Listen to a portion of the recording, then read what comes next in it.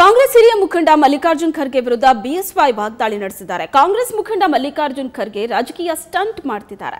ವಿಮಾನ ನಿಲ್ದಾಣ ಕಾಮಗಾರಿ ಮುಗಿಯದಿದ್ರೂ ಕೂಡ ಸಣ್ಣ ವಿಮಾನವನ್ನ ಹಾರಿಸಿ ರಾಜಕೀಯ ಲಾಭವನ್ನ ಪಡಿತಾ ಇದ್ದಾರೆ.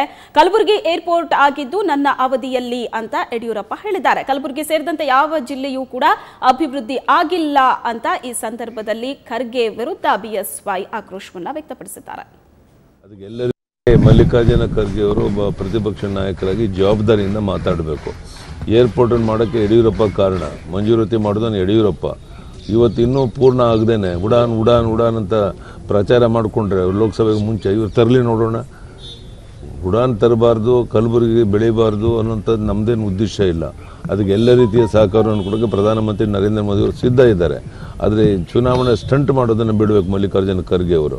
ಯಾತಕ್ಕೋಸ್ಕರ ತಕ್ಷಣ ಫ್ಲೈಟನ್ನೇನು ಪ್ರಯೋಗ ಮಾಡ್ತೀನಿ, ಟ್ರಯಲ್ ಅಂತ ಹೇಳಿ ಮಾಡಿದ್ರೆ ನೀವು ಏರ್ಪೋರ್ಟ್ ರೆಡಿ ಆಗಿದೆಯಾ ಎಲ್ಲಿ ಏನು ರೆಡಿ ಆಗಿದೆ? ನಾನು ಹೋಗಿ ಸ್ಪಾಟ್ ಇನ್ಸ್ಪೆಕ್ಷನ್ ಮಾಡಿದ್ನಲ್ಲ ಲಾಸ್ಟ್ ಟೈಮ್ ಬಂದಾಗ. ತಾವೆಲ್ಲ ನನ್ನ ಜೊತೆಗಿದ್ರಿ.